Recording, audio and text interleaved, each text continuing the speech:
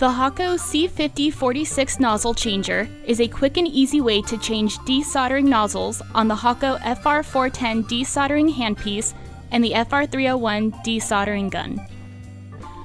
Three specially designed separate ports allow the user to store three different desoldering nozzles. Store extra nozzles and tools in the nozzle holder located on top of the changer.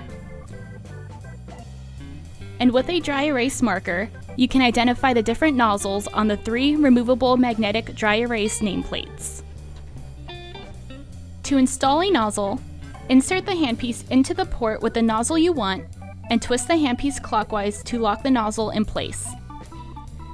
To change from one nozzle to another, insert the handpiece into an empty port, twist the handpiece counterclockwise to unlock the nozzle, and pull the handpiece out. The nozzle has been released and is removed. Now insert the handpiece into the port with the nozzle size and shape you want, twist the handpiece clockwise to lock the nozzle in place, and pull the handpiece out. It's that easy.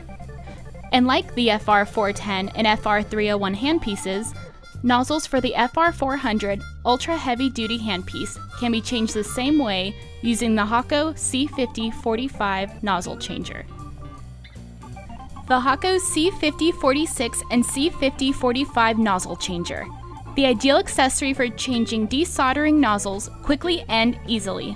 Thanks for watching!